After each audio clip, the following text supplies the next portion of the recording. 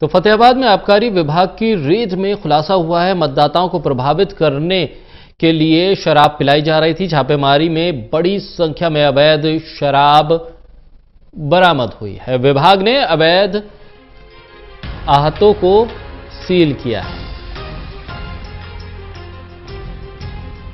जिला आबकारी एवं कराधान विभाग के कमिश्नर वी के शास्त्री ने जानकारी दी।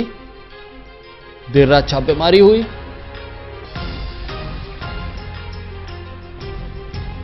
छापेमारी में पता चला है कि मतदाताओं को प्रभावित करने के लिए अवैध आहतों पर शराब पिलाई जा रही थी।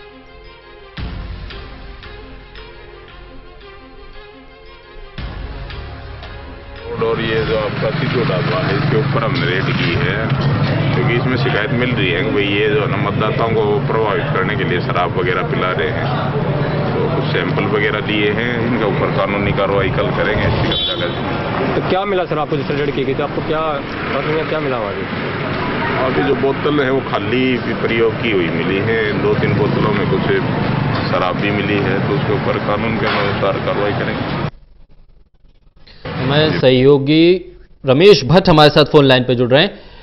रमेश, क्या कुछ जानकारी मिल रही है? कितने लोगों को गिरफ़्तार किया गया? कितनी बड़ी संख्या में शराब बरामद हुई? देखिए, विभाग को लगातार शिकायतें मिल रही चुनाव के को भारी मात्रा में जो अवैध जो हत्थे खुले हुए हैं, वहाँ पे शराब पहुँच जाती है। उसके बाद विभाग द्वारा जो छापेमारी की गई थी, सभी शहर के जो ठेके थे या अवैध रूप से जो हत्थे चल रहे हैं, वहाँ पे देखा गया तो भारी मात्रा में युवा जो शराब पी रहे थे, उसके बाद अधिकारियों का ये कहना है कि जल्दी इनके खिलाफ जो अनलीगल तरीके से यहाँ वाइन पिला रहे हैं और इनको सील भी किया जाएगा और इनको नोटिस देकर जवाब भी मांगा जाएगा। जी।